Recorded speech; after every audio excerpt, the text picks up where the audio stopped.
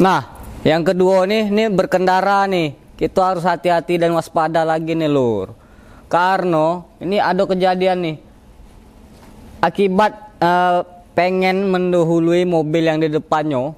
Nah, pengendara minibus menabrak pengendara motor lainnya nih, Lur. Yaitu motor NMAX nih.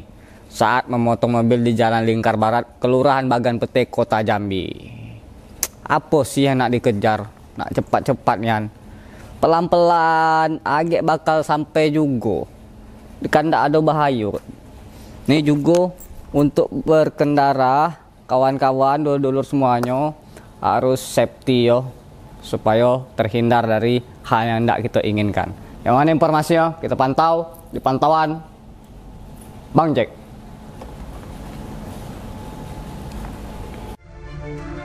Kecelakaan lalu lintas kembali terjadi di kota Jambi.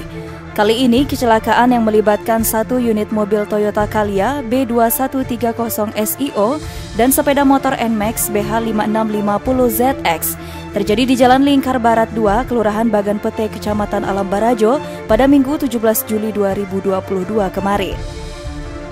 Kasat Lantas Polresta Jambi, Kompol Aulia Rahmat mengatakan bahwa kecelakaan ini bermula ketika mobil Kalia yang dikendarai Andrius yang datang dari arah Simpang Rimbo hendak menuju arah Pal 10, berupaya mendahului kendaraan di depannya menggunakan jalur berlawanan. Namun di saat bersamaan datang sepeda motor NMAX yang dikendarai Afrizal dari arah berlawanan sehingga kecelakaan tidak bisa dihindari. Akibat kecelakaan ini, pengendara motor NMAX yang merupakan warga perumahan Mendalo Hill RT 23 Mendalo Darat Kabupaten Muaro Jambi mengalami luka-luka sehingga dilarikan ke puskesmas terdekat. Sementara itu, motor NMAX yang dikendarainya juga mengalami kerusakan parah di seluruh bagian. Sedangkan mobil Kalia hanya mengalami kerusakan di bagian depan saja. Saat ini kedua kendaraan tersebut dibawa pihak kepolisian ke unit Laka Polresta Jambi untuk pemeriksaan lebih lanjut. Dimas Sanjaya, Jack TV melaporkan.